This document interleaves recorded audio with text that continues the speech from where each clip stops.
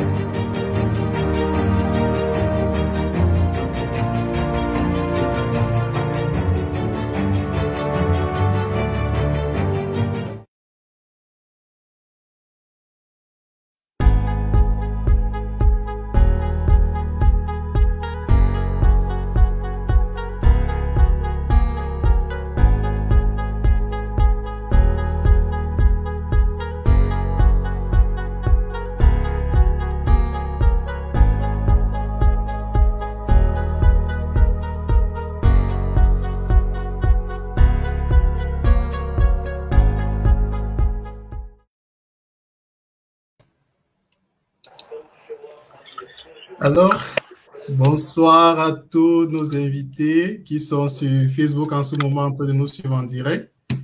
Bonsoir à, Patrick, qui est notre hôte aujourd'hui et qui a bien, voulu, du moins, honorer ce, fameux rendez-vous qui devient déjà, je tiens à le préciser, euh, notre rendez-vous habituel.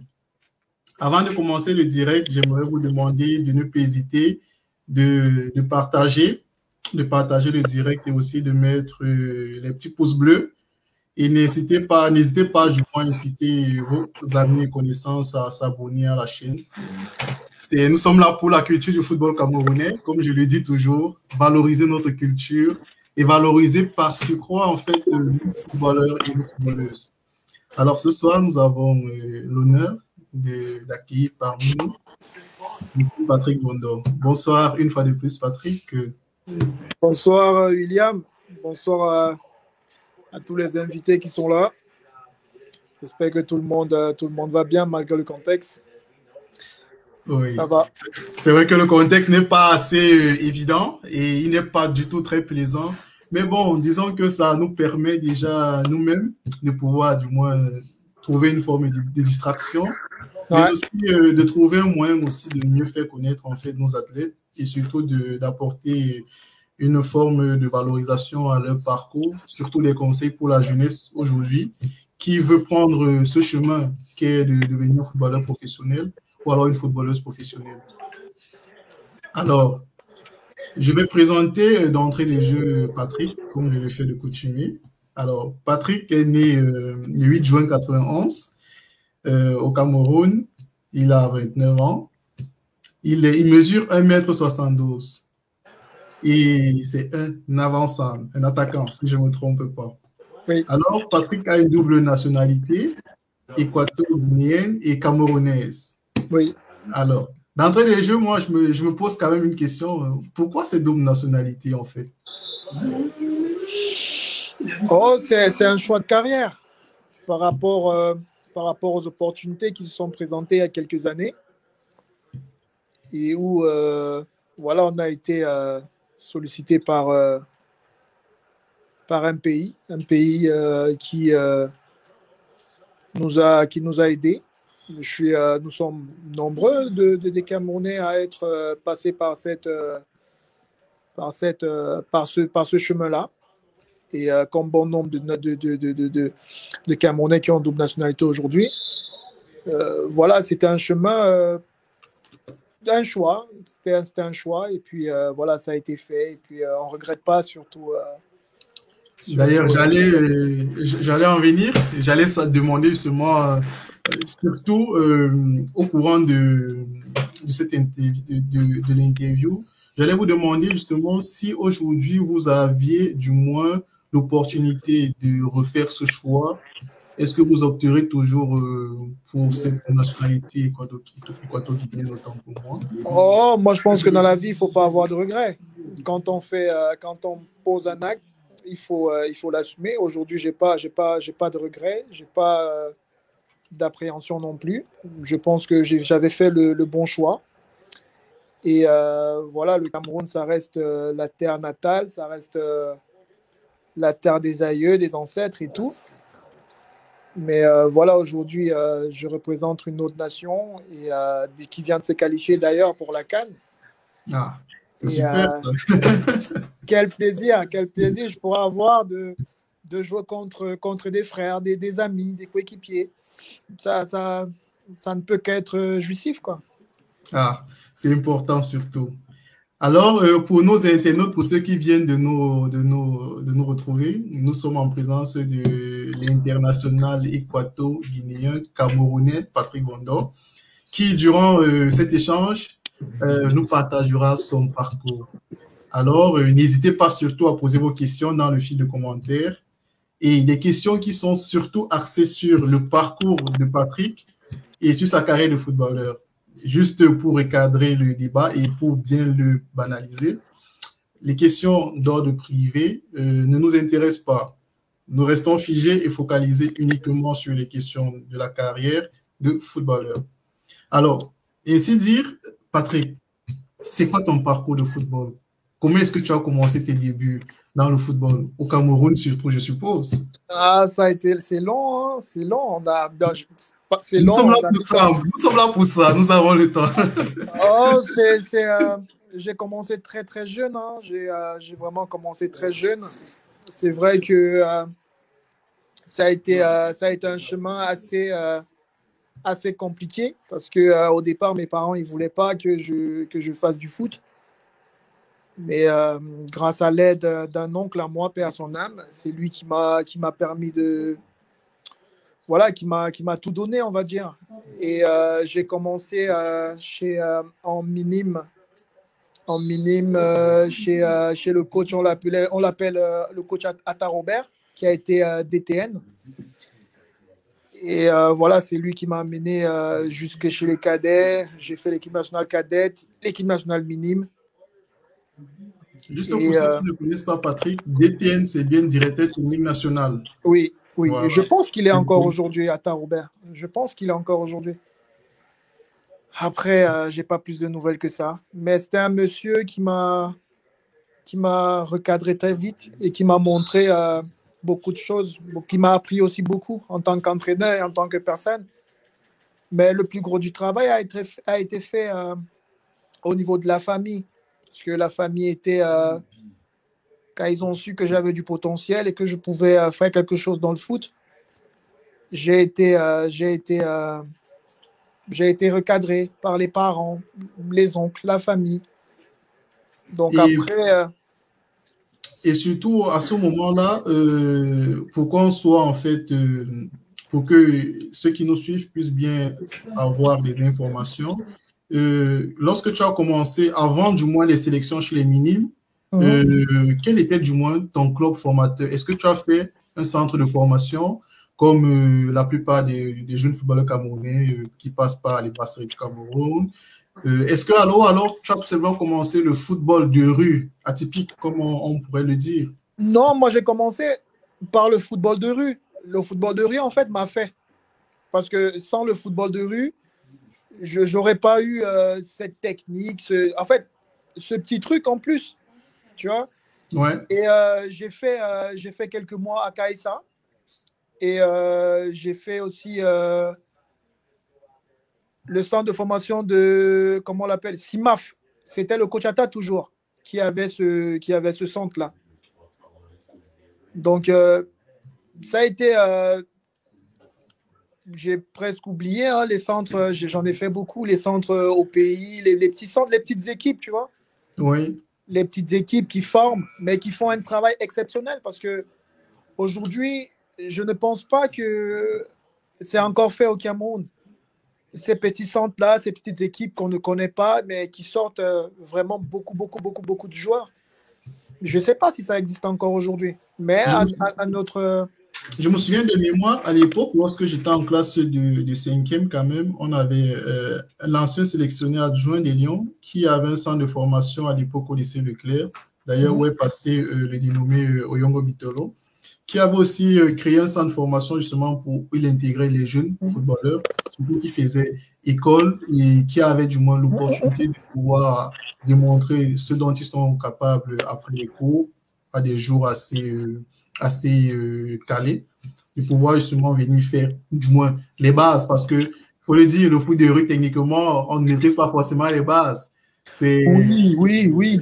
C'est que voilà, on essaie de voir ce qu'on, de reproduire ce qu'on voit du moins euh, dans les écrans de télé. Mais la tactique, la technique en même temps, il, il, peut avoir bien sûr la technique en tant que footballeur, mais la technique et la tactique, en fait, dans la combinaison du jeu en équipe, en fait, peut ne pas y être. Oui, mais c'est pour ça qu'on intègre ces centres, pour avoir cette tactique, cette culture tactique, on va dire. C'est pour ça qu'on intègre les centres. Mais moi, j'ai eu ce plus. J'ai eu euh, la culture de, de, rue et, cette culture, euh, cette culture euh, des centres de formation. J'en connais, j'en connais, j'en ai fait. J'ai fait plein d'essais aussi ici en Europe et notamment en Europe de l'Est où c'est un peu plus différent, tu vois. Ouais. Et euh, voilà, c'est tout ça qui a fait, qui a fait, euh, qui a fait la personne. Tu vois D'accord. Alors, est-ce que euh, lorsque tu as commencé justement le football de rue, tu as directement commencé comme attaquant ou alors tu t'essayais à différents postes et c'est avec le temps que tu as pu du moins trouver ta place à un poste clé?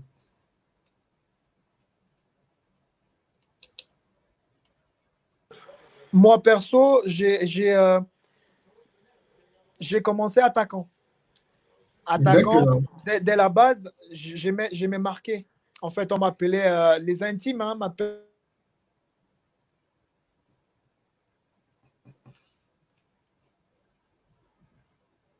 Là, tu nous entends, on a un problème de son, on ne t'a pas suivi.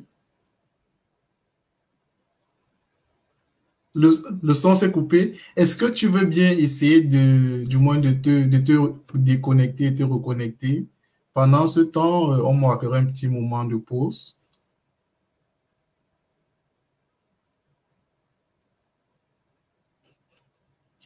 Alors, pour ceux qui nous rejoignent, nous sommes, comme je l'ai dit au début, en présence de Patrick Vando, qui est notre invité. Euh, Patrick Vando a un parcours euh, assez atypique et surtout très riche, je dirais.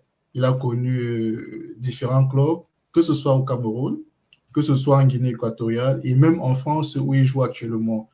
Alors, durant tout notre échange, il aura l'occasion, du moins, de pouvoir euh, nous relater les difficultés qu'il a dû rencontrer dans son parcours, sa carrière de footballeur, mais aussi les choix décisifs qu'il a dû faire pour pouvoir avancer dans ce même parcours. Parce qu'il faut le dire, la carrière de footballeur, c'est pas euh, quelque chose d'assez aisé. On a l'habitude de regarder à la télé, on se dit, ah oui, ils vivent bien, ils font bien ceci. Mais sauf qu'être footballeur implique une certaine rigueur, une certaine discipline, un état d'esprit. Et aujourd'hui, avec Patrick Vondor, nous allons découvrir tout cela. Alors, il nous a rejoint et nous allons recontinuer. Alors là, c'est bon? Ouais, là, c'est parfait. Ah, c'est parfait. Donc tout à l'heure, tu disais qu'on t'a surnommé, euh, on n'a pas suivi justement parce que ça s'est coupé, le son s'est coupé. En, fait, les intimes, hein, ceux qui me connaissent très bien, m'avaient surnommé euh, Van Nistelrooy. Ah oui. Et euh, j'aimais vraiment beaucoup marquer. Hein. J'aimais le but. Après, le coach, euh, le coach Atta m'a fait jouer sur le côté, comme milieu de couloir, parce que j'avais euh, j'ai une très bonne pointe de vitesse. Il m'a, après j'ai aimé le poste et euh, ça m'a amené jusqu'aujourd'hui. Hein. Parfois je, je joue sur le côté hein, quand c'est nécessaire, quand je peux aider surtout. Les deux, gauche ou droit, ou alors les deux de fois? Oh, je joue partout devant. Partout, ah d'accord. Mais c'est bon. C'est une, ça, c'est une polyvalence en plus parce qu'il y a des fois des attaquants qui peuvent être positionnés sur le côté et qui parfois ne s'en sortent pas forcément très bien de l'autre côté. Donc, euh, je pense que c'est surtout un plus. Alors, quel est le premier club que tu as réellement intégré en tant que professionnel au Cameroun? Parce que je crois que sauf si je me trompe, tu as intégré les Astres en 2008, 2009, 2008, je crois, un truc comme ça. Et comment est-ce que tu es arrivé justement aux Astres? Est-ce que tu sors du centre de formation où tu étais? Ou euh, comment ça s'est passé? Explique-nous un peu. Euh, en fait, en 2000, je crois 2007, entre 2006 et 2007, je fais le, tournoi de Montaigu. Je pars du centre et euh, le tournoi de Montaigu, pour ceux qui ne connaissent pas, c'est un tournoi qui, euh, qui c'est un tournoi des minimes, on va dire. Donc nous, on représente le Cameroun, on joue la France, on joue la Russie, on joue les États-Unis. Et après, après le tournoi, on finit, je pense, septième, je pense. après le tournoi, je, je signe à Léopard de Douala. D'accord. Et après une très très bonne saison. Hein. J'ai fait une très très très bonne saison. Et je suis recruté aux Astres. Et c'est comme ça que tout est, euh, tout est parti. C'était les grands astres, hein. c'était pas les astres d'aujourd'hui. Hein. D'aujourd'hui. ok, on y reviendra. Euh, à l'époque, quand tu as fait le tournoi de Montaigu avec la sélection minime, je crois que tu étais d'ailleurs le capitaine, si je ne me trompe pas. Euh, non, non, je n'étais pas le capitaine. Tu n'étais pas le capitaine. Mais je crois, je crois avoir vu une photo de toi avec le brassard ou c'était à une occasion. oh, peut-être c'était un match hein, où on avait le brassard, mais euh, je ne suis pas trop capitaine, moi. Je suis pas. Ah oui. pas, j'aime pas, j'aime pas, j'aime pas, j'aime pas être capitaine en tout cas de toutes les façons. Tu n'aimes pas, du moins, te positionner comme un leader euh, au sein du vestiaire ou alors Non, non, non. Déjà, leader, c'est, je suis un leader inné. D'accord. C'est juste que j'aime pas le brassard. Ah j'aime pas le brassard. Mais question leader dans un vestiaire, je n'ai pas de doute là-dessus. Ok. Alors, tu arrives aux Astres en 2008-2009. Comment s'est passé, comment s'est passé du moins ton intégration aux Astres? Et du coup euh, la saison à cette, à cette période-là? Oh, c'était, c'était, c'était, j'ai été très bien intégré. Par contre, parce que j'ai été recruté, donc j'ai été désiré, parce que j'avais fait une bonne saison. J'ai très bien intégré euh, les astres. Mais par contre, c'était difficile. C'était difficile au départ parce qu'il y avait de très très bons joueurs. Des joueurs de, de, vraiment de nom. C'était des. Euh, c'était, euh, moi, je, sortais de nulle part. Et voilà, c'était des, vraiment c'était des grands joueurs parce que Astre à cette période, quand il y avait une convocation, c'était pratiquement tout le 11 qui partait. Ah c'était pratiquement euh, dans presque toutes les catégories. Il y avait des joueurs qui partaient chez les A, les espoirs, les cadets, les juniors, les minimes. C'était vraiment du, du, lourd à cette époque à Astre. Donc quand j'arrive, je trouve vraiment un effectif qui était déjà, euh, qui était déjà, qui était déjà plein. C'était des joueurs confirmés. Moi, j'étais encore dans l'apprentissage. Mais très vite, j'ai eu la chance de rencontrer aussi, euh, que je remercie au passage, le coach euh, Tonier Tonier et Zabo, le coach Zabo. C'est des gens qui m'ont vraiment fait confiance. Et euh, voilà, j'ai pu faire, j'ai pu faire une bonne saison aussi là, cette année-là. Et après, tout est parti, hein, tout est parti très vite. C'est super. Alors, moi, j'ai une question. Euh, surtout, je tiens à préciser à nos internautes de ne pas hésiter de poser toutes les questions, en fait, qu'ils aimeraient sur le parcours de Patrick euh, en commentaire. Nous allons relire les questions et il prendra un moment pour y répondre. Alors, euh, on a un commentaire, du moins de Déco, qui, Ah. qui dit, ouais, il a fait toutes les catégories sauf les A. Est-ce vrai? Tu as fait vraiment toutes les catégories à, à l'équipe nationale sauf les A? Ouais. Ouais. Ah oui. Ça a été un peu la frustration, en fait. Ça a été la frustration. C'est vrai que logiquement, on aurait, on aurait pu penser, on aurait même cru, en fait, si un jeune fait toutes les catégories, il a du potentiel. Pourquoi pas intégrer chez les A? Ouais. Peut-être aussi à cette époque, c'était un peu compliqué, du moins, d'intégrer les A, je ne sais pas trop. Mais nous y reviendrons. Tout comme nous y reviendrons. Alors, après les Astres, tu as fait une saison au Astres et tu es parti à Fès. Ouais. Et c'était quoi le, le c'est tu es arrivé à peine Astres, tu as fait une saison, tu étais désiré par le club et ton intégration s'est pourtant très bien passée. Pourquoi en fait euh, cet envol direct en fait vers le Maroc? C'était une autre opportunité en fait euh, que tu attendais ou alors c'était explique-nous un peu. Déjà, déjà à cette période, euh, à cette période, on était très très mal payé. Ouais. Ouais. Parce que moi, je pense, je pars du principe que un joueur professionnel ne peut pas gagner 50 euros. C'est- pour un joueur professionnel, c'est un métier honorable et respectable. Ouais. Et un joueur ne peut pas gagner 50 euros. C'est impossible de, de- de faire vivre sa famille avec, euh, avec, avec ça. C'est pour ça que le Cameroun aujourd'hui perd beaucoup de joueurs. ça c'est vrai. dès qu'un joueur essaye d'éclore, tout de suite, il va partir. C'est pour ça qu'on n'a pas un championnat aussi a- attractif parce que les joueurs, ils partent. Moi, personnellement, à cette période, je gagnais, je gagnais euh, on va dire, 50, 60, 70, parfois 100 euros. Je peux pas. J'ai une famille, j'ai euh, moi-même, j'ai euh, voilà, t'as des t'as des charges et tout. Tu peux pas, tu peux pas vivre de ça. Tu peux pas Juste- vivre comme ça.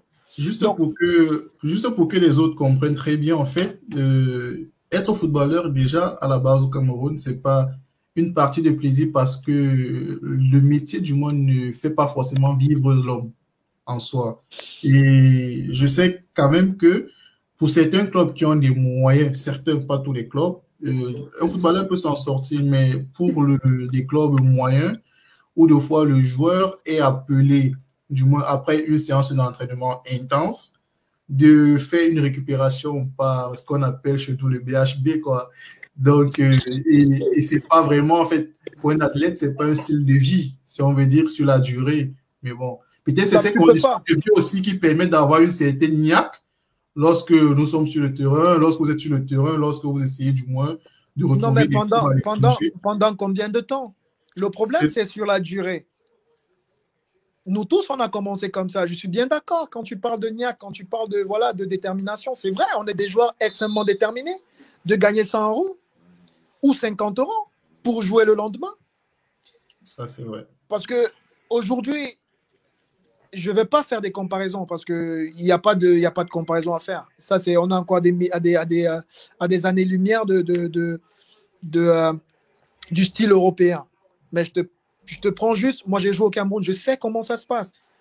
Aujourd'hui, les joueurs, c'est, c'est, c'est vraiment du n'importe quoi. C'est, c'est du grade, c'est du grand n'importe quoi. Un joueur, tu ne peux pas payer un joueur. Toi, en tant que père de famille, toi, président, père de famille, tu payes un joueur qui est un autre père de famille 50 euros. Ouais. C'est Où est-ce qu'on va? Ouais, on- ça, ça peut pas, on peut pas.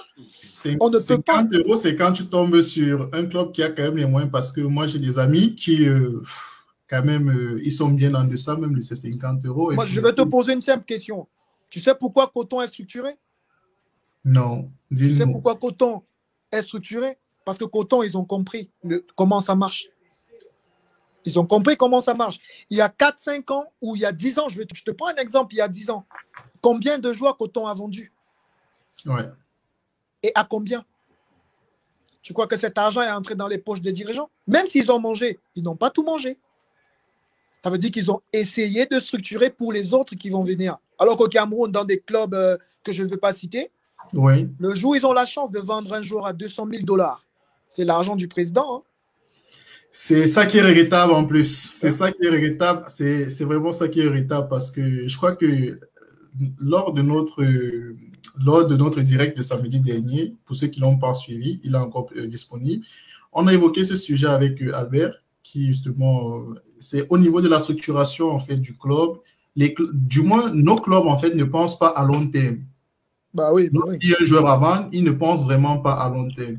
Et je pense que c'est surtout ça le problème à un moment donné qui ne permet pas du moins de valoriser non seulement notre championnat, mais aussi nos athlètes.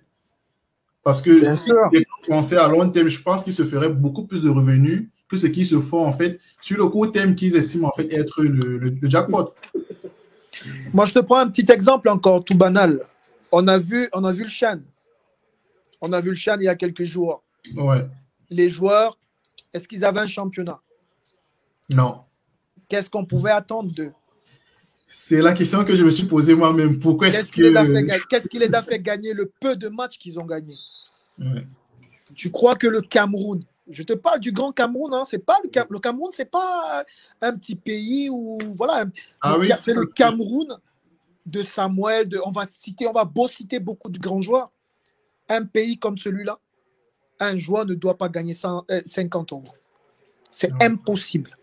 C'est impossible. Avec le nombre de joueurs que le Cameroun vend par an, c'est impossible. C'est impossible. Moi, moi Et- je, Et justement, on, on verra, on verra bien, on verra justement que c'est l'une des raisons qui pousse nos athlètes, du moins, à aller dans les championnats euh, euh, étrangers, même pas qui sont hors du, du continent, mais les championnats au Gabon, au Congo, parce que justement, là-bas, du moins, je pense que la philosophie des clubs est assez avancée sur ce plan-là. Et voilà. Et- Sauf que c'est aussi à la ramasse. Moi, j'ai joué au Gabon. J'ai joué, euh, on va dire, deux, deux ans, trois ans au Gabon. Cette période, il y avait des salaires de, que je te dise pas de conneries, 500 euros. Ah oui, Tu vois la marge? Ouais. Aujourd'hui, peut-être c'est pas pareil. Aujourd'hui, peut-être c'est pas pareil. Je ne sais pas trop. Mais je te dis, à cette période, on gagnait 500, 500, 500 euros. 500 euros. Peut-être plus parce qu'il y avait des salaires de 400 000, 600 000 ou en Guinée équatoriale à côté. Oui, Il y a des salaires, il y a des salaires qui avoisinent, qui avoisinent les, euh, les, les 1000 euros. Tu vois, le coût de vie, quand tu regardes par rapport à ces pays, le coût de vie est nettement moins que celui du Cameroun. Tu vois, mais tu Oui. gagnes. Tu gagnes quelque chose pour ta famille. Moi, je te garantis sur facture, si moi, il y a quelques années, quand je jouais encore au Cameroun, j'avais, si j'avais seulement 500 000, j'aurais pas envié un joueur qui joue en Europe. Je serais parti du Cameroun que pour l'Europe. Parce que le coût de vie te permet de vivre au Cameroun avec 500 ça 000. c'est vrai. Mais tu connais combien d'équipes au Cameroun qui vont te donner 500 000 Ça c'est vrai. Moi, je connais Il y en pas. hein. Il y en a, Peut-être en Coton, il y en a peut-être très, Coton, ouais, mais- peut-être Coton, ouais, c'est vrai. Mais il n'y en a pas. On- ça peut se compter au bout des doigts et ça, c'est sûr. Ça peut vraiment se compter au bout des doigts. Donc euh, voilà, moi après, euh, ça me fait très mal quand je, quand vois des jeunes frères. J'ai beaucoup de, petits frères qui, euh, qui sont dans le championnat camerounais et qui, m'appellent que voilà, ne serait-ce que manger. C'est, je, ne restais pas insensible.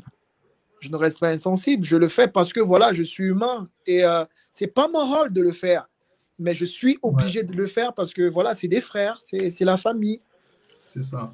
Mais euh, voilà, on devrait euh, normalement mieux structurer notre football, penser à long terme. Il y a déjà des terrains, il y a des stades. Et justement, euh, on espère qu'avec justement l'infrastructure qui est déjà mise en place et qui continue d'ailleurs d'être mise en place, euh, les choses pourront réellement changer. Vraiment, on a, on a bon espoir parce qu'on aime bien notre pays, mais on aimerait justement que, voilà, comme je le dis, on a une culture de football qui nous est propre et on aimerait vraiment valoriser cette culture de football-là. Je pense que on a, c'est pas les talents qui manquent, on en a énormément. Ben, il y en a, il y en a. En quoi le Brésil nous dépasse Le Brésil ne nous dépasse en rien, sauf qu'ils ont compris juste. Ils ont compris comment ça marche. Et il y a beaucoup de personnes au Cameroun qui sont compétents, qui peuvent gérer le foot. Aujourd'hui, il y a cette crise, tu vois la crise que je parle aujourd'hui à la fédération et tout. Cette crise, elle cristallise Tout, tout, tout, tous les sportifs. Tous les sportifs. Ça, Là, vrai. le championnat, ça a commencé il y a combien? On a combien de journées? Trois journées? Ah, trois journées, c'est vrai. On a trois Ah, journées le On n'est qu'à la troisième journée. Les gars, ils vont. euh, comment ils vivent dans les clubs? Est-ce qu'on ne peut pas créer une structure qui fait la police au club? Qui sanctionne les clubs? Est-ce que les présidents de clubs eux-mêmes, ils, ils ont leur famille? Leurs familles, euh, voilà, sont, sont bien. Moi, je pense que quand un président crée un club au Cameroun et que ça fonctionne, c'est que pour lui. hein. C'est que pour lui. C'est pas pour les joueurs, parce que les joueurs en ont marre. C'est justement ça, parce que on espère, on ne, on ne peut que, du moins, à notre niveau, essayer d'espérer et essayer du moins de changer les choses à notre niveau pour que, voilà, ne serait-ce que le, le- le sportif en, en lui-même soit, voilà, soit valorisé, soit vraiment mis au- euh, en lumière, même si Ouais. euh, derrière, il y a, voilà, il y a beaucoup de choses qui ne fonctionnent pas. Alors, si on revient sur, sur FES, tu Oui. as fait une saison, une saison à FES. Oui. Comment ça s'est passé là-bas, ton intégration? Oh, j'ai rencontré un agent espagnol quand j'étais quand je quand j'étais en quoi avant que je ne parte. Un agent espagnol, euh, j'ai oublié son nom. hein, euh, il m'a mis en contact avec le président du MAS de Fès au Maroc. Et euh, après, après, euh, plusieurs, euh, plusieurs mois de, de négociations et tout, on est tombé d'accord. Et j'ai fait le voyage pour le Maroc. J'ai été très vite intégré aussi, par contre. J'ai fait, euh, j'ai fait, euh, je suis arrivé en mi-saison. Ils avaient déjà fait euh, presque 10-15 matchs. Oui. Je suis arrivé juste après, en hiver. C'était en période d'hiver là-bas. Et euh, c'était un peu difficile parce que j'avais, j'avais, vraiment pas connu euh, ce que c'est que, l'hiver. Oui. Et euh, c'était un peu compliqué au début, les premiers mois, parce que j'avais très froid. Ouais. Et voilà, après, j'ai, je me suis adapté, je me suis habitué. Et surtout que je, je suis arrivé à Fès, et je, je sortais, je crois, on sortait du, je sortais du tournoi de, de l'amitié à, à Bepanda. Oui. C'était la première édition, je pense j'étais meilleur joueur. J'étais, j'ai été élu meilleur joueur avec les As. Et euh, voilà, j'ai signé à Fès. Ça se passe, euh, ça se passe un peu, c'était un peu difficile au départ. Et puis, euh, vers le mois de, on va dire, mars, j'intègre l'équipe première parce que je suis arrivé, j'avais pas encore, euh, j'avais très très froid, hein, j'avais pas intégré le Ouais. groupe tout de suite. Mais je m'entraînais avec l'équipe première. Il y avait juste Après- un temps, il y avait un temps, du moins, d'adaptation qui était, qui était. Voilà, ouais, c'était un peu plus long. C'était un peu plus Ouais. long parce qu'il fallait que je m'a- je m'adapte à mes nouveaux coéquipiers. C'était un peu, c'était un peu un football différent. hein. C'était différent de du foot que j'ai connu, euh, que j'avais, que j'avais déjà connu auparavant avec les As, avec euh, d'autres, euh, d'autres, d'autres clubs. Et voilà, je me suis adapté. Et puis voilà, j'ai fait la saison. J'ai fait une très très bonne saison aussi. Et euh, voilà, c'est comme ça que FES s'est passé. Et euh, j'ai fait qu'une cette saison, tout simplement parce que euh, j'avais signé normalement un contrat de, je crois, trois ans, trois ou quatre ans, un truc comme ça. Et j'ai j'ai cassé mon contrat au bout de, au bout de, de- de- en début de saison, de la deuxième année de, de- la deuxième année de mon contrat, j'ai cassé mon contrat Mais parce que que les conditions, oh, les conditions commençaient à se dégrader. Le président, Ouais. il avait démissionné. Le président qui m'avait fait venir, celui qui est actuel, qui était venu, il avait, amené- il avait euh, recruté un autre entraîneur qui avait d'autres joueurs. Et euh, il m'avait staff, en fait. clairement, voilà, un nouveau. euh, Une nouvelle vision de jeu, tout. Voilà, tout voilà. Et, voilà, il m'a fait savoir que je n'entrais plus dans ses, dans ses plans et tout. Et comme j'étais sous contrat, Oui. il ne pouvait pas se débarrasser de moi comme ça. Il a parlé à son président, son président qui m'a parlé. Et puis, euh, je suis rentré, euh, je suis rentré dans les, dans les As. Dans les astres. Alors, nous avons une question de de d'Assabroquet, en fait, qui demande que penses-tu en fait du championnat euh, marocain de façon générale? Le- C'est un bon championnat, hein. franchement. C'est, c'est, ils ont déjà l'un des meilleurs derbys du monde. hein. Ah oui. Donc, euh, c'est un très très bon championnat. Pour un jeune, honnêtement, c'est un très très bon championnat. C'est un très bon championnat. Il y a du rythme, il y a de l'impact, il y a de la tactique. J'ai trouvé bien le championnat marocain. Honnêtement, il y a des similitudes ou alors du moins tu as pu euh, constater du moins en fait des similitudes avec euh, le football camerounais tel qu'il est nous? Rien à voir. En fait, nous au Cameroun, on est trop physique en fait. Oui, tu vois, on travaille beaucoup, on travaille beaucoup trop physique. Par contre, euh, dans les dans les pays dans les pays arabes, c'est pas c'est pas trop le physique qui qui, qui, qui, qui, importe. En fait, c'est plus tactique et technique. Tu vois? C'est, Ça n'a rien à voir. Mais par contre, si tu as, as, la culture qu'on a au Cameroun, tu peux t'en sortir. Hein. Physiquement, si tu es bien, tu peux jouer. Ah oui. Je suis en train de voir la question de Assab Roki qui parle de Raja Huidad. C'est l'un des C'est ça. C'est un, gros. C'est lent, ça fait partie des, des, des, grands derbies dans le monde. Hein. Je pense qu'ils doivent être troisième, un truc comme ça. D'accord. Donc c'est des gros, c'est des gros matchs. C'est des gros matchs. Ça nous permet de découvrir une autre culture, quoi. Ouais, non. Moi, je suis toujours ouvert aux cultures euh, étrangères. Et oui, et ça, d'ailleurs, on va le voir par la suite. Et mm. tu es retourné aux Astres. Du moins, après les Astres, tu as fait deux saisons aux Astres. Mm-hmm. Et après, tu t'es envolé pour la Guinée c'est bien ça. Oui. Où tu as rejoint l'équipe de, de, des Vegetarianos. Ouais, Vegetarianos.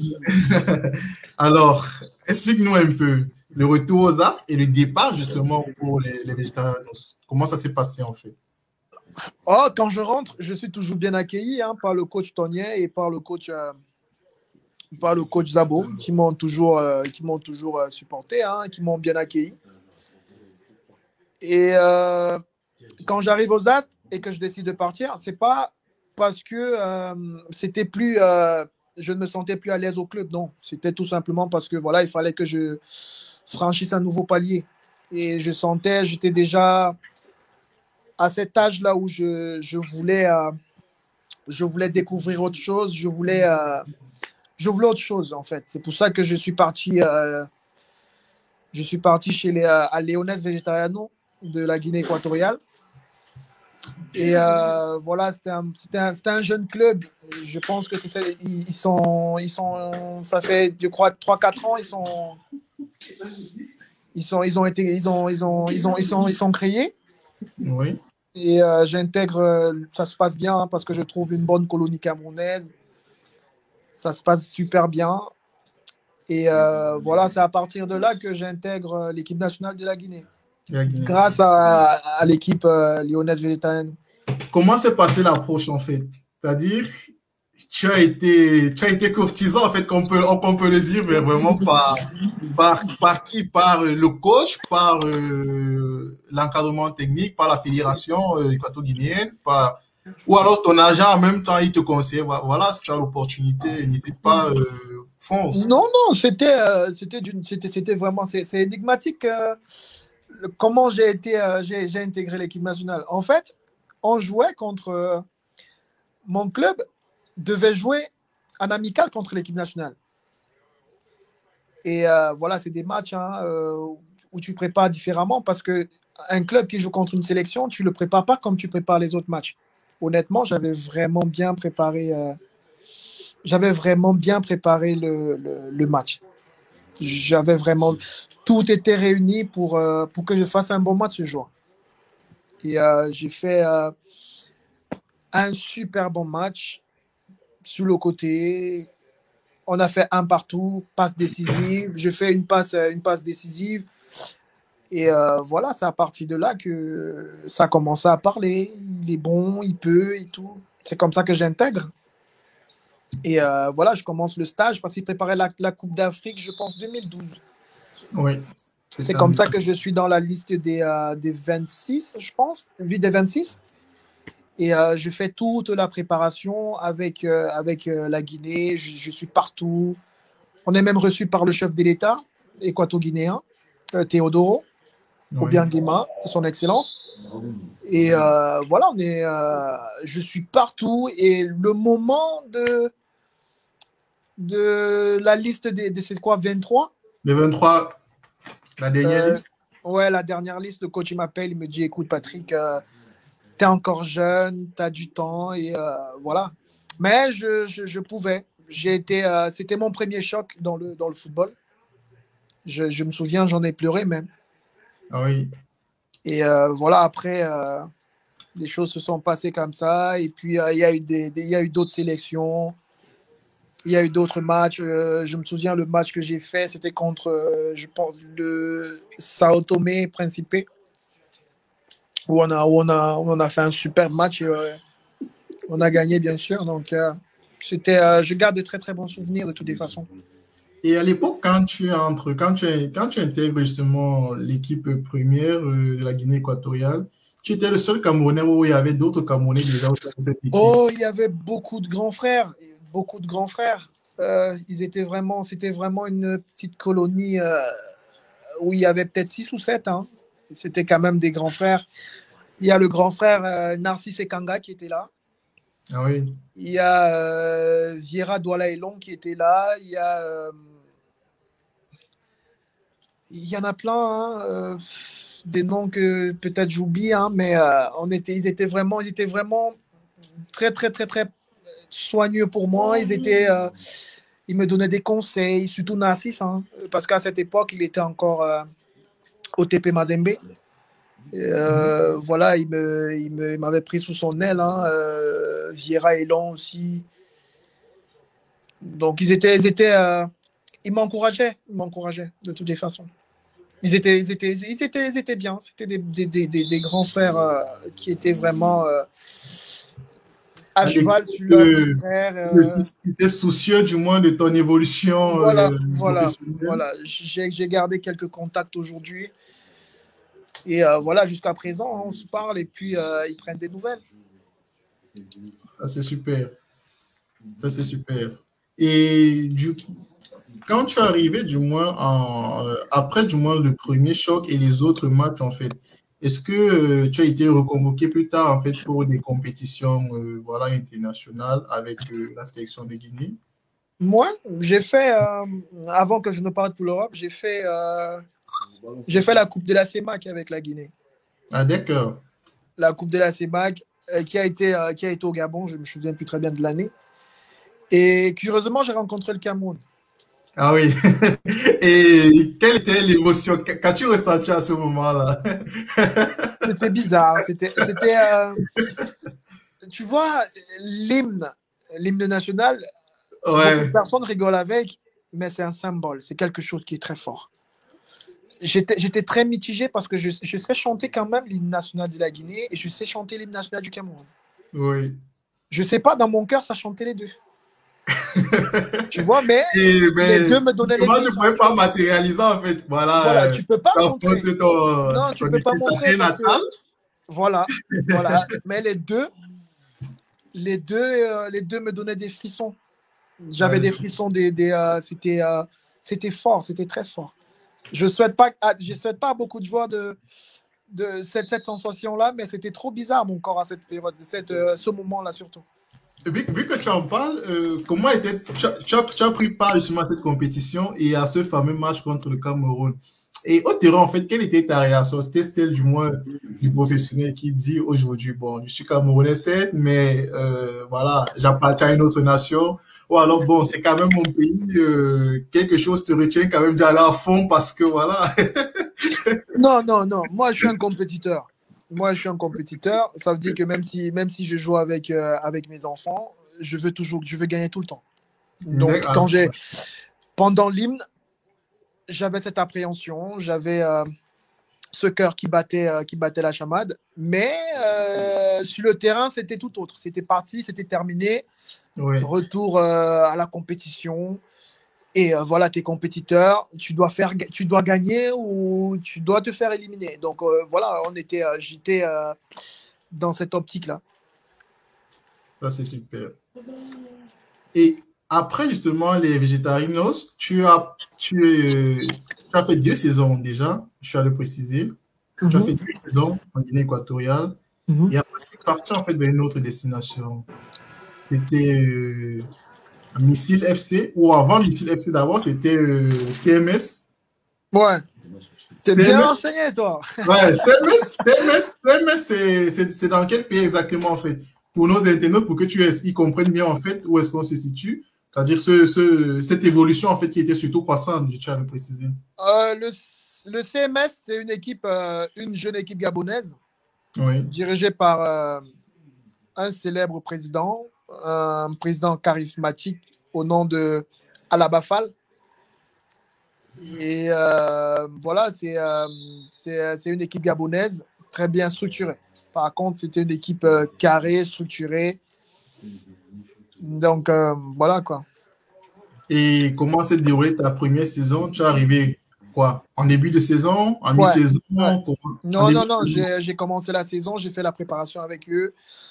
Ça s'est super bien passé. Hein. On avait fini, si j'ai bonne mémoire, on avait fini deuxième ah cette année-là. Ouais, je crois qu'on avait fait C'était l'une la plus belle saison du club. Parce qu'on avait terminé deuxième et euh, on a été euh, africain. Au bout de mes deux ans, mon contrat était terminé. J'ai été recruté par euh, Missile, Missile FC. Missile FC. Ouais, c'est l'équipe, l'équipe, l'équipe des militaires en fait. Ah oui. tu étais parti pour une formation là. déjà pendant la préparation, ils voulaient qu'on fasse une formation militaire. Ah oui. et il y avait des militaires dans le club, qui, qui, qui, des coéquipiers qui étaient militaires et joueurs. Qui jouent aussi. Ouais, ah oui, il y avait des militaires. Ouais, il y avait des militaires. Ils avaient un matricule, des militaires, des militaires. Ils étaient des militaires, tu vois, au civil. Il met une tenue. Mais il a sa tenue, il a son béret et tout. Je suis bien curieux, en fait, mais comment ça se passait justement? C'est-à-dire, est-ce que le caractère, en fait, c'est-à-dire le caractère d'un militaire, en fait, lors euh, d'une séance de, lors d'un match de football, lorsqu'il y a surtout, en fait, une tension entre les joueurs, quelles étaient les réactions, en fait? Parce que, quand même, c'est assez délicat, il faut le dire. non, mais, non, mais ce qu'on doit savoir, c'est que les militaires sont d'abord humains. Tu vois, c'est pas des robots, c'est pas des surhommes. C'est des, des, gens qui ont des sentiments aussi, qui ont des, des émotions.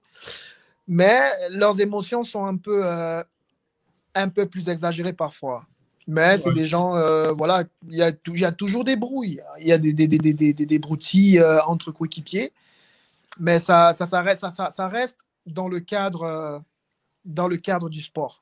Il n'y a pas des excès, du moins, moi, je n'ai pas connu durant cette période-là, je n'ai pas connu euh, quelqu'un qui s'est fâché lors d'une de, séance ou d'un match et puis euh, c'est parti euh, très, très, très, très loin. D'accord. Donc, tu as fait, par contre, à Missile, tu as fait quoi? C'était une demi-saison aussi? Une, Je pense que c'est une demi-saison que tu as fait à Missile FC. Une saison, c'était une saison. Une saison entière. Ouais, une saison entière. Une saison, une saison où j'ai marqué, je crois que j'avais marqué 14 buts, hein, je pense. Je pense bien. J'ai bonne mémoire. Cette saison, par contre, j'ai beaucoup marqué euh, à Missile. Et j'ai fait beaucoup marquer aussi. Bon, un aveu. Tu étais euh, au classement des buteurs. Tu étais quantième, dis-nous. ah non, j'étais peut-être cinquième, hein, parce qu'il y en a un qui avait claqué beaucoup plus, plus que moi. C'était Kazimi Dinga. Après cette saison, il a signé à, à Montpellier, si je, si je, si je, si j'ai bonne mémoire. Tu vois? Donc, euh, j'avais marqué parce que je jouais quand même sur le côté. Mais il y a quelqu'un qui a marqué plus que moi, en tout cas. Et lui, il a eu la chance parce que net après, il a signé à, il a signé à Montpellier juste après. D'accord. Ça tombe bien parce que l'année qui suit, justement, tu quittes carrément le continent pour te retrouver à Fleur. Et cette fois-ci, tu arrives justement en France. Ouais. Euh, est-ce que du moins de ton départ en fait euh, à de d'Astre de Douala mhm. jusqu'à Fleur, tu étais avec le même agent. Est-ce que c'est cet agent-là justement qui te mettait en contact avec euh, les clubs? Comment est-ce que ça se passait? Ou alors c'était juste euh, voilà des, des, des, recruteurs qui étaient intéressés, qui voilà assistaient à tes matchs, qui étaient intéressés, qui faisaient un suivi régulier du moins de tes performances et au moment, au moment le plus opportun lors du mercato, disaient bon voilà, on, a, on, a, ce joueur qu'on suit Déjà, la, la, déjà, partant de, de, du Gabon. Oui. Partant du Gabon. Non, partant de la Guinée au Gabon. Ouais. J'ai. Euh, c'est un entraîneur qui m'amène. D'accord. C'est un entraîneur qui m'amène. Parce qu'un entraîneur qui a travaillé au Gabon, en Guinée, et qui connaissait Monsieur Alabafal. C'est lui qui m'a fait venir. Il a parlé de moi. Alaba a voulu me voir. Il, a, il, a, il a payé tout ce qu'il fallait. Et je suis arrivé. J'ai signé. Je suis rentré en Guinée. D'accord. Et dès que la saison s'est terminée en Guinée, je suis rentré, euh, je suis rentré au Cameroun d'abord pour euh, quelques jours parce qu'il fallait que je, je, disais au revoir à la famille, les vacances et tout. Et euh, je suis parti du Cameroun maintenant pour, pour le Gabon. Donc j'avais plus, j'avais plus de contrat en Guinée. Et voilà, c'est comme ça que je me retrouve au Gabon. Maintenant, partant du Gabon à la France, c'est là, j'avais pas d'agent. Là, je n'avais pas d'agent. Ah, tu, étais, comme, comme, un agent libre, quoi. Ouais, j'étais comme un, agent libre, de, responsable de moi-même. J'ai tout fait par moi-même et puis euh, je suis parti en France. Et en France, à faire, j'ai trouvé un agent avec qui je travaille euh, jusqu'aujourd'hui. Jusqu'aujourd'hui. D'accord. Alors, et comment s'est passée ton intégration du moins à faire Parce qu'il faut le dire, c'est déjà au niveau de l'atmosphère et l'ambiance, c'est pas pareil. Tu arrives, tu arrives, en fait, tu as connu différents championnats en Afrique et avec des contextes qui sont particuliers propres à l'Afrique. Et tu arrives en Europe justement où on a non seulement le contexte qui est aussi particulier à, à, cette zone géographique, mais aussi avec euh, les températures, le climat, même si déjà au Maroc, tu avais eu un petit aperçu. comment, comment ça s'est passé cette fois-ci, justement, ton intégration? Oh, quand j'arrive à faire, j'arrive à faire dans des conditions un peu particulières parce que je, euh, je à la base, j'étais sur Paris. J'étais sur Paris. Je m'entraînais avec euh, Campo Saint-Denis, un très bon entraîneur, hein, t'as entendu sûrement parler. Je, je, travaille avec lui, je, me préparais. J'ai euh, deux amis euh, que je rencontre là-bas aussi. Et euh, ils avaient des essais à faire. À faire. Moi, je n'avais pas d'essai. Je n'avais pas d'essai. Je, moi, je m'entraînais juste avec Campos. Et mes deux amis me proposent d'aller d'aller à faire, d'aller faire un essai. Bah, à la base, moi, je n'étais pas dans le, dans le truc, dans le, dans le programme et tout. Oui. C'est comme ça que juste pour la curiosité. Euh, tu ne fais rien. La découverte, voilà, je ne perds rien. Je, je, je, je, me lève et puis euh, je vais à faire. Je fais les essais. Je rencontre d'ailleurs mon agent ce jour et euh, je fais les essais et avec mes deux amis, je suis le seul à être retenu à faire. Ah oui, quand même. Donc, ça passe ça m'a choqué, ça m'a fait bizarre un peu parce que j'étais pas censé être là. Ouais. Et comment, comment est-ce qu'ils l'ont vécu? Comment est-ce qu'ils l'ont pris surtout? Oh, Ils l'ont bien pris euh, sans rancune euh. Personnellement, ils l'ont ils l'ont bien pris. Ils l'ont bien pris. C'était, euh, ce sont des gars bien. Ah oui. voilà, ils avaient d'autres essais. Hein. Donc, ils se sont dit, si ça ne marche pas à faire, on ira ailleurs. Parce qu'avant faire, je suis parti au Puy-en-Velay. Oui. Et au Puy-en-Velay, on n'avait pas pu faire les essais, tout simplement parce que voilà, il, il, avait, euh, il avait beaucoup neigé cette période. Et euh, l'essai a été annulé, on était déjà dans l'asile. Donc on part du Puy-en-Velay pour, euh, pour faire. Et c'est comme ça que je signe à faire. Je reste à faire, je crois, deux ans. Hein. Mais ça n'a pas été facile, hein. j'ai beaucoup galéré. Ah j'ai beaucoup galéré parce que c'était, quoi l'intégration, les coéquipiers euh, Qu'est-ce qui s'est passé réellement en fait? Non, en fait, c'était, euh, ça a été une erreur, tu vois, une erreur administrative un peu, un peu euh, je veux, entre guillemets, un peu bête. Ouais. ça a été le fait de ma licence. Ma licence a été confondue au niveau de, je sais pas, au niveau de, de, de la ligue, où ils ont cru que moi j'étais, j'étais français. Ah j'avais, j'avais mon passeport guinéen qui est Bordeaux. Et euh, voilà, quand on m'a demandé, euh, ils m'ont pas demandé, hein, ils ont vu mon passeport de loin. Oui. Et ils ont déduit que j'étais français. Français. Tu vois, par contre, je ne l'étais pas, tu vois, et euh, ça posait un problème. On a fait des recours. On a... cette saison-là, je ne l'ai pas faite. Par contre, je m'entraînais, Tu vois, s'entraîner sans jouer, c'est un peu. Ah, ouais, c'est pénible. C'est comme ça que j'ai fait la moitié d'une saison. Hein. J'ai pas, j'ai pas joué. Hein. Euh, ah, je m'entraînais, je m'entraînais. La saison d'après, j'ai fait la préparation. Par contre, là, j'ai joué. Et j'ai marqué. Ça doit être sur Internet, non? Si tu as regardé, ça doit être sur Internet. J'ai marqué 11 euh, Non, moi, je n'ai pas regardé. Par contre, le nombre de buts que tu as marqué à faire, mais je m'intéressais. Euh, on y reviendra. on y reviendra. on y reviendra. Donc, j'ai pas vu, mais tu peux quand même partager l'information avec. Euh, oh, j'avais marqué entre 11 et 12. Hein. Entre 11 et 12. Hein. Ouais. Je pense bien. J'ai regardé. Tu avais marqué 13 buts cette année-là. Ah J'avais quand même marqué beaucoup cette saison. Ouais, ouais. Tu avais marqué 13 buts cette année. Et après, tu as fait du moins une année très mitigée à faire et une année complète. Ouais. Et au bout de l'année complète, par contre, euh, First, c'est quel championnat en fait? C'est la nationale C'est non, Fer, à cette époque, ils étaient en, en, en N, N3, je pense. N3. N, un truc comme ça. Un truc comme ça, ouais. Un truc comme ça. Mais c'est un bon championnat. Hein. C'était euh, pour un jeune qui vient d'arriver. Oui. C'était, c'était, euh, c'était bien. C'était bien.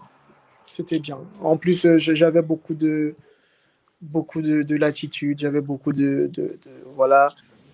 On, me respectait. C'est une ville aujourd'hui que qui, qui, qui m'a donné beaucoup de choses. Ah, ça c'est formidable ça. C'est formidable. C'est vrai que ces billets sont souvent très accueillants justement vis-à-vis de, joueurs qui sont, surtout lorsqu'ils affrontent beaucoup justement au club, parce que, faut dire, ces clubs qui jouent en, N, que ce soit N2, N3, et national et tout, euh, c'est comme en fait des, des, effigies pour cette petite ville qui ne sont pas très connues. Donc du coup, euh, voilà ils ont les, les, populations de ces, de ces, zones géographiques sont du moins très, très attentionnées, très attentives à ce qui se passe en fait dans local.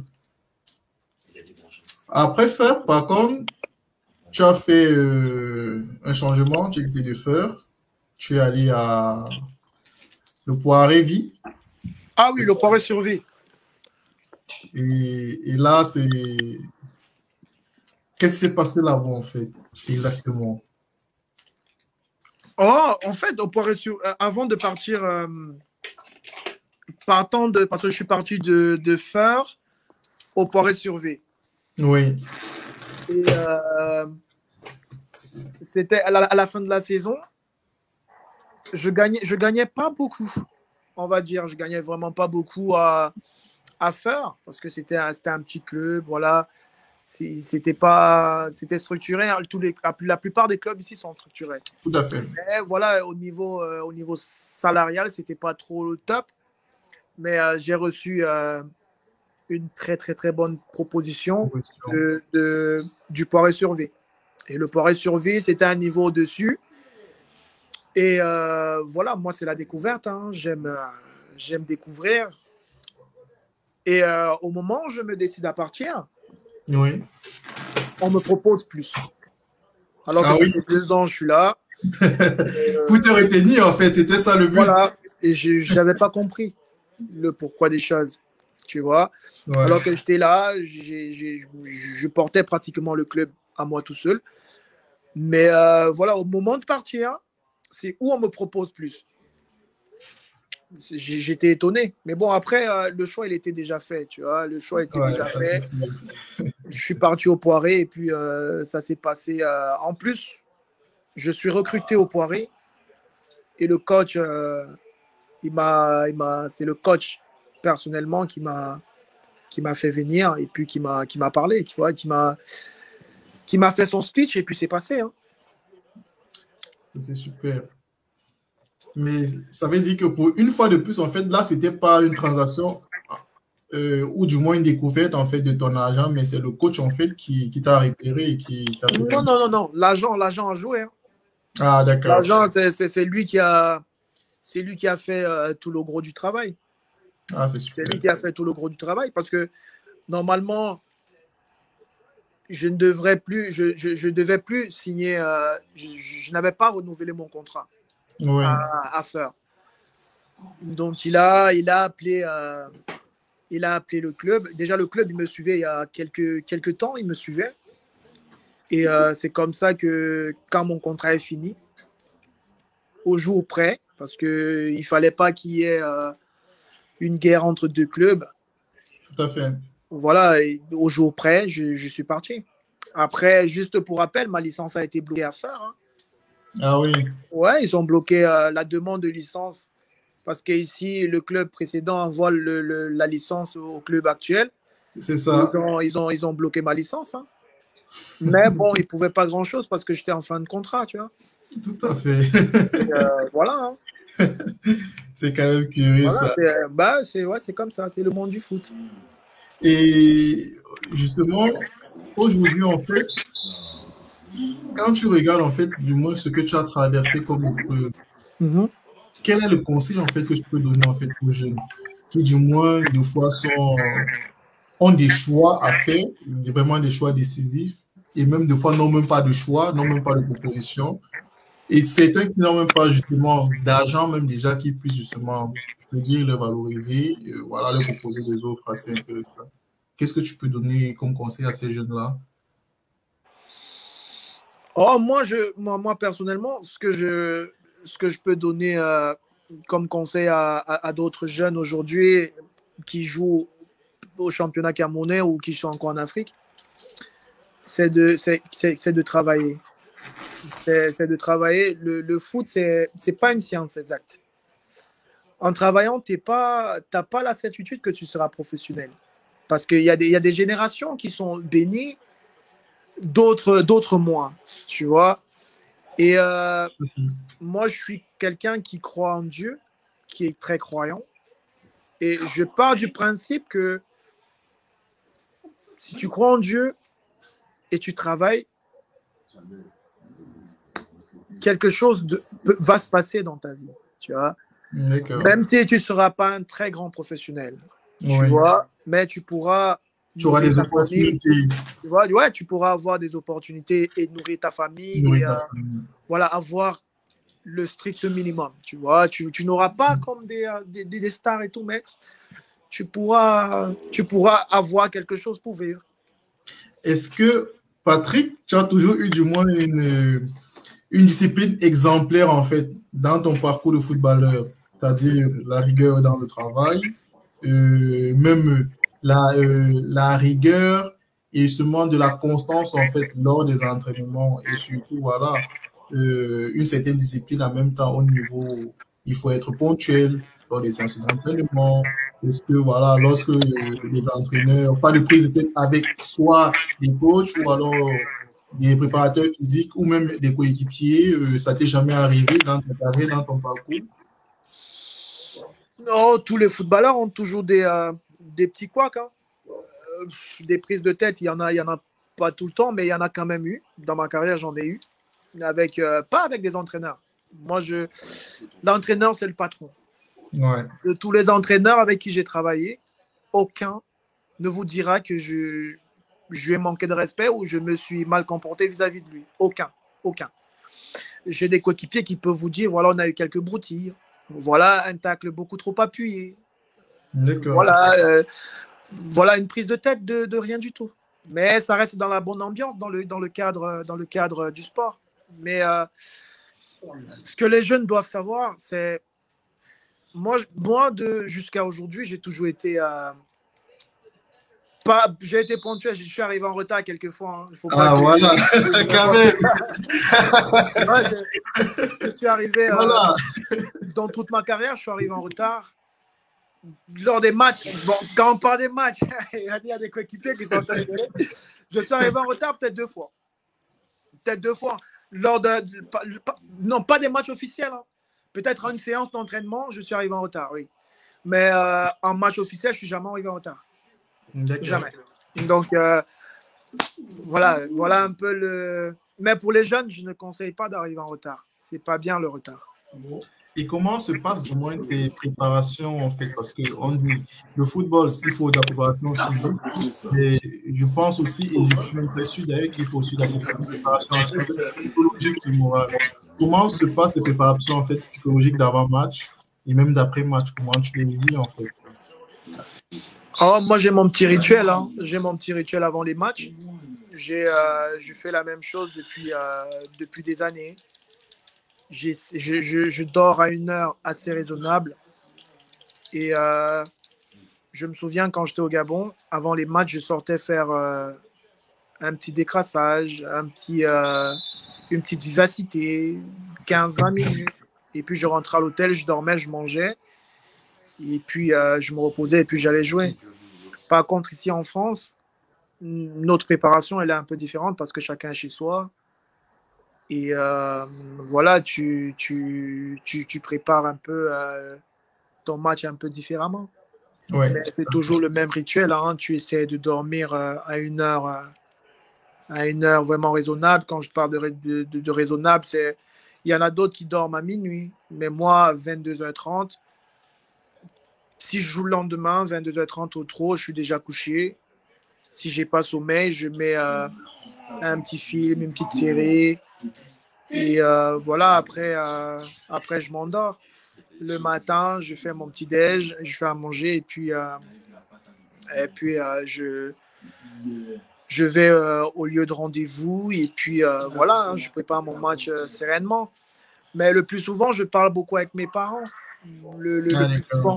Ouais, j'appelle mes Il parents. au aussi, de, de, il aussi en même temps, à un moment donné, de, de ta carrière, surtout, je pense que ton série de, de soutien, en fait, mon Bien sûr, bien sûr, bien sûr. Tout au courant de la carrière.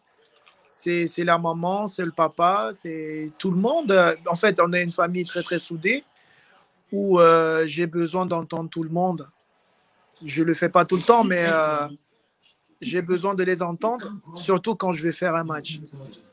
Ah, parce c'est euh, parce que on ne sait pas, c'est un match de foot, c'est dangereux, c'est voilà, tu, tu as besoin d'entendre euh, les enfants, les, euh, tu as besoin de parler avec les enfants. Et ça, ça, il n'y a rien de, de mieux que de, de, il y a rien de mieux hein, pour préparer un match. Tu parles avec tes enfants, avec la famille, et euh, voilà, hein, tu, tu, ça se passe. hein. D'accord. Donc, après euh, ton passage, du moins, à le Poiré suivi, tu as fait un passage, un court passage, en fait, à Monceau. Et avant de fait une saison à Monceau. tu as fait deux ans à Monceau. Une saison. J'avais un contrat de deux ans, mais j'ai fait une saison. Exactement ça. 2018-2019, Ouais. là, tu étais à Monceau. Mhm. Et avant de te retrouver aujourd'hui à OFC Guignon, Ouais. est ton club actuel. Ouais. D'ailleurs, euh, Patrick, je tiens à te le dire, on attend toujours un maillot dédicacé hein, pour euh, Ah. les internautes. Ah non, non, non. Celui, s'il y a un jeu, celui qui gagne, je lui donne un maillot, il n'y a pas de problème. Ça, on l'a oublié, voilà. Donc, euh, voilà. Euh, vous allez suivre, on a un maillot dédicacé de la part de, Ouais, il y y, a, il y a un maillot dédicacé de Patrick. Voilà, qu'on fera gagner justement à nos internautes. Ouais. Vous allez, tout le monde jouera, participa- participera au jeu. Et peu importe où vous trouvez, on vous enverra le maillot. Peu importe où vous trouvez le maillot, vous allez le recevoir. Ouais. Donc, et Patrick, tu as eu du moins euh, euh, certainement des modèles. C'est-à-dire, tu as eu des modèles à part. bon, On te surnommait Van Nistelrooy, mais tu t'es servi en fait de plusieurs modèles. Lesquels, par exemple Le footballeur, en fait, était pour toi comme un modèle, en fait. Surtout à ton poste et même, en fait, dans euh, sa carrière professionnelle et tout. Oh, moi, il y a un joueur camerounais que j'ai euh, j'ai beaucoup aimé. hein, euh, Aujourd'hui, il n'en ne parle pas beaucoup de lui. Mais euh, moi, je l'ai beaucoup aimé parce que je me. Je, je regardais un peu comment il faisait. C'est Bernard Tutan, Ah oui, tu vois? ouais. Et voilà, dans la vivacité, dans, dans, dans, dans ses déplacements. dans- Quand j'étais quand j'étais petit, j'étais allé, à, je crois que c'était Cameroun-Togo, si j'ai bonne mémoire. Oh, il avait fait un match excellent, excellent.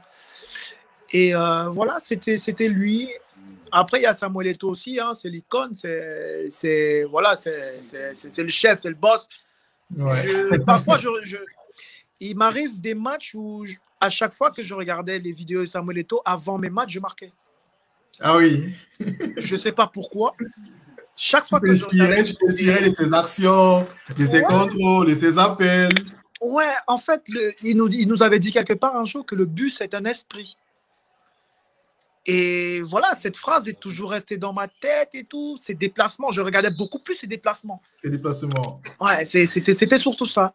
Après, c'est euh, l'exemple. Il y a mon petit frère aussi, euh, Serge Vondo, qui, qui n'est pas mal. Ah oui. il, est, très très fort. Parfois, je, je m'inspire de lui aussi. C'est lui. Parfois, je, il est. Si, euh, non, si euh, le Cameroun est ce qu'il est aujourd'hui, hein, euh, normalement, il devrait être Chan, lui. C'est noté, Sèche. Je crois que dans une de nos prochaines éditions, tu seras certainement notre invité aussi. ah, il est là. En fait. Donc, et aujourd'hui, en fait, si tu avais quelque chose à refaire dans ta carrière, qu'est-ce que tu referais? Euh, il y a tellement de choses. Euh, sans regret, s'il y a un pays où je ne serais pas parti, surtout, c'était la Russie. Ah oui. Ouais, parce que j'ai perdu du temps là-bas. J'ai perdu du temps et euh, c'était pas un championnat adapté pour moi. Parce qu'il faut, il faut savoir reconnaître euh, ses forces et ses faiblesses. Oui. Et euh, c'était pas, c'était pas adapté pour moi. C'était pas adapté pour moi. Donc euh, voilà, s'il fallait refaire euh,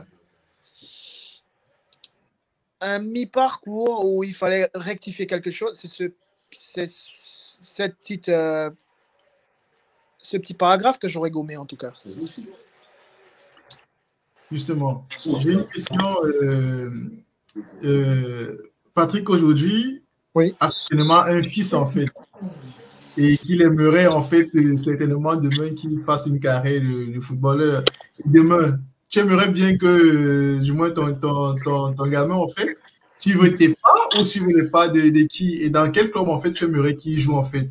Là, tu te diras que oui, là j'ai accompli quelque chose. Oh, moi je suis parisien de sang. Hein. Ah oui. ah oui.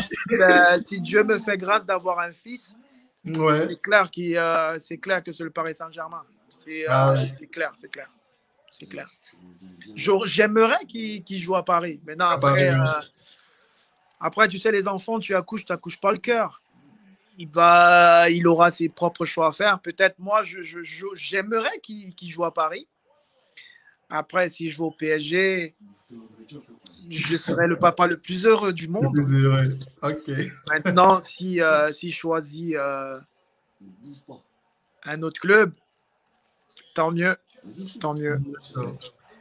Voilà. Donc, on va passer du moins aux séances de questions-réponses. Et on en a quelques questions. Alors, euh, nous avons une première question qui est la question de, de qui demande en fait quelles sont tes, perspectives à venir? Oh, vu le contexte, on espère déjà reprendre très vite. On essaie de, on essaie de reprendre très vite et puis marquer beaucoup, beaucoup de buts. Et puis euh, aller encore un peu plus haut. Voilà, voilà les perspectives euh, d'avenir tu, envisagerais aussi de terminer euh, ta carrière en fait au Cameroun, vu qu'aujourd'hui on a ah, déjà l'infrastructure qui. Bah oui, bah oui. Bah bah honnêtement, honnêtement, j'aimerais bien. J'aimerais bien dans, dans, dans, dans, un dans quelques temps, j'aimerais bien euh, finir ma carrière au Cameroun dans un bon club, dans un club de mon village surtout. Ah oui. Colombe, on va dire Colombe. Je, préférerais Colombe. C'est le village euh, à ma mère. J'aimerais bien euh, lui faire cet honneur de jouer dans, dans l'équipe de son village. Et puis, voilà, les amener un peu plus haut encore. Et puis essayer de structurer le truc, structurer encore plus qu'il n'est plus qu'il n'est aujourd'hui. D'accord. Ensuite, on a une question de, de déco qui en fait demande en fait le Maroc. Alors, je, juste pour recentrer la question, je pense qu'il a posé la question au moment où, où je demandais en fait si tu avais des choix, si tu avais du moins des choix à regretter ou, des choses à refaire dans ta carrière que quels seront ces choix-là. Et je pense qu'il demandait également, et le Maroc, tu, tu ne regrettes pas Non, non, non, non, je ne peux pas regretter le Maroc. Pourquoi? Parce que le Maroc, ça a été, euh, ça a été l'apprentissage. D'accord. Ça a été l'apprentissage, donc je ne peux pas regretter le Maroc. Parce que le Maroc, euh, j'ai beaucoup appris de par, euh, de par, de par, de par l'entraîneur qui m'avait fait venir, qui était vraiment quelqu'un de bien.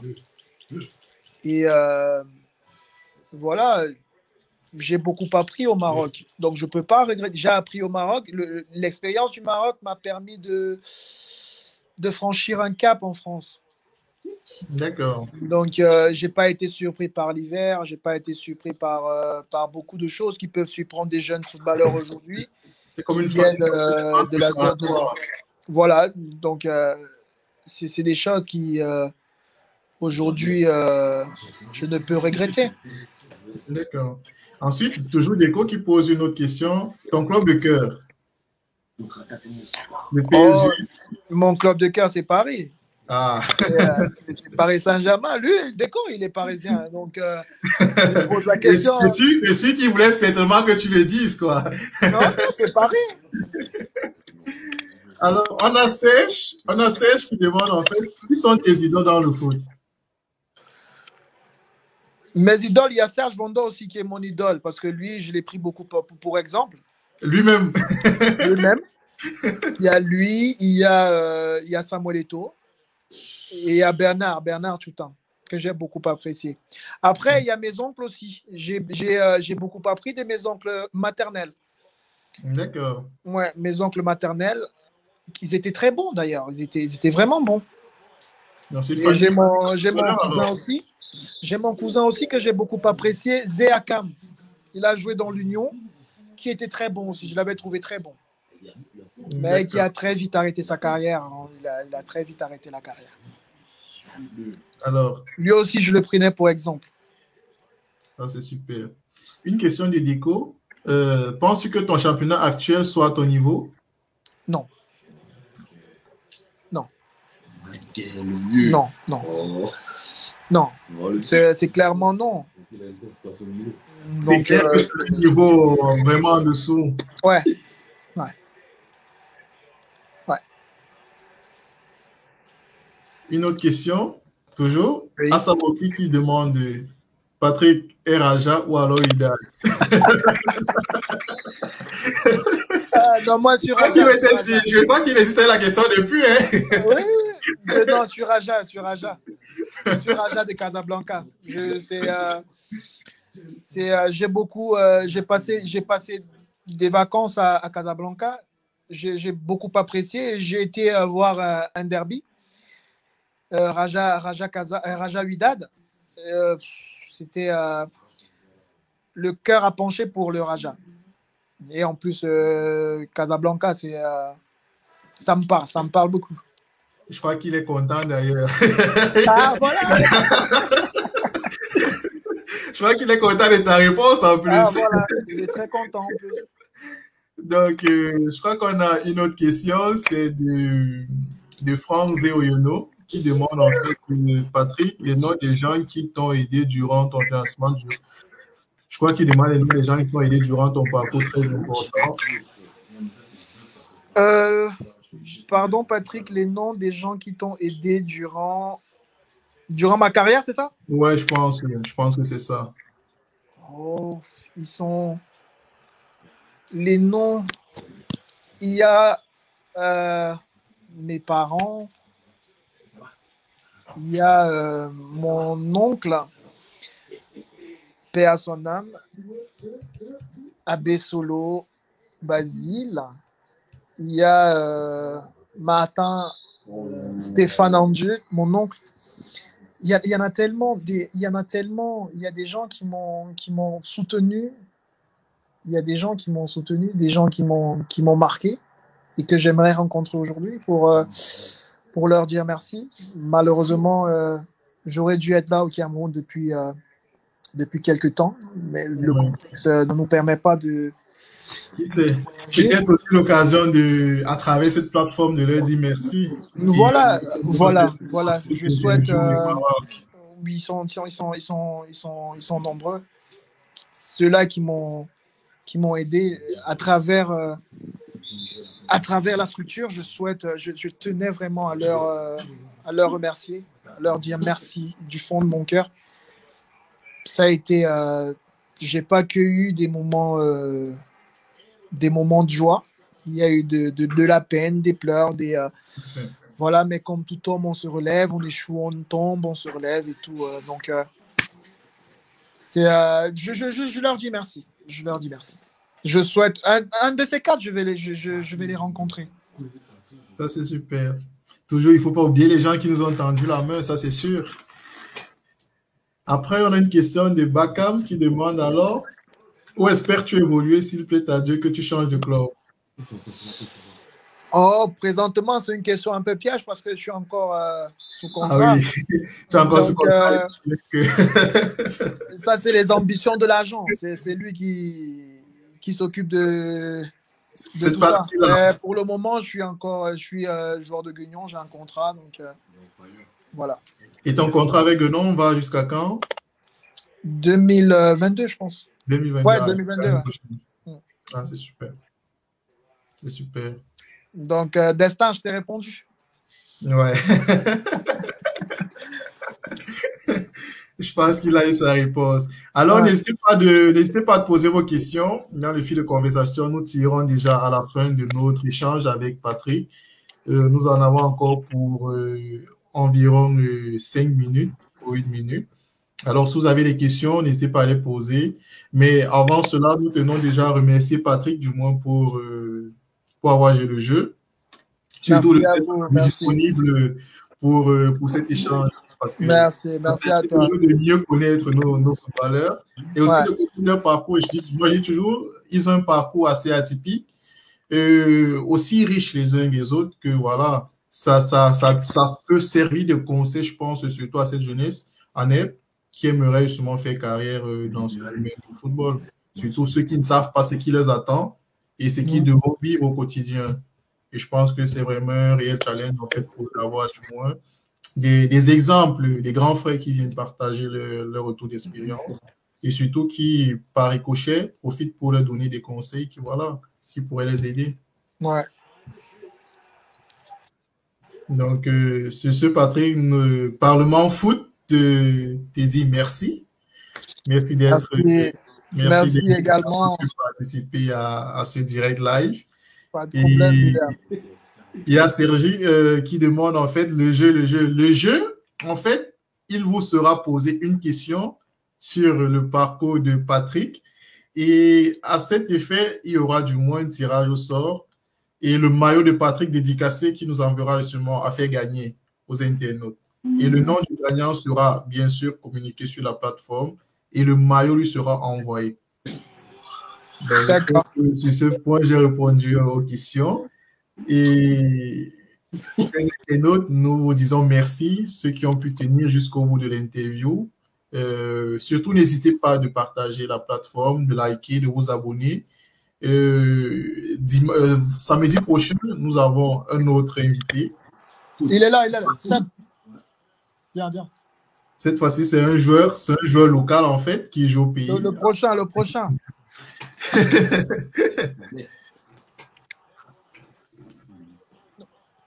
Il est là, il est là, le prochain. Maintenant, viens. Le prochain, le prochain. C'est Sébastien, Sébastien Peck. Sébastien Peck. Ah, salut le joueur. le prochain, c'est l'invité de, de, la semaine prochaine. Alors, ça, avec Sébastien, du moins, euh, je, je, prendrai tes coordonnées à Patrick et nous allons échanger justement sur comment ça va se passer. Et comment est-ce qu'on va, on va dérouler du moins notre direct avec toi? Déjà, n'hésitez pas à vous abonner euh, euh, sur nos différentes pages, Facebook, Instagram, Twitter et YouTube. Les vidéos ensuite sont publiées sur YouTube, en fait, pour ceux qui n'ont pas pu assister au direct et qui voudraient bien sûr voir et même prendre connaissance. Alors, surtout, il ne faut pas hésiter. Ok, ça marche. À bientôt. Je te montre le prochain. C'est lui le prochain. Ça marche. Alors, euh, nous te remercions, Patrick, une fois de plus, et nous remercions nos internautes pour leur participation. D'accord. Ok. Bah, je te remercie aussi. Ah, c'est un honneur pour nous de t'avoir. C'est toujours un honneur pour nous d'avoir invité. Merci beaucoup, William. Merci. Merci. Alors, sur ce, nous allons te souhaiter un bon, euh, une bonne soirée, un bon samedi Merci. soir. Merci beaucoup. Bon dimanche euh, dans la paix du Seigneur. Dans la paix du Seigneur, toujours. Du Seigneur, tout à fait. Merci. Allez, salut tout le monde. Allez, salut tout le monde. À bientôt. Surtout, abonnez-vous et likez nos vidéos.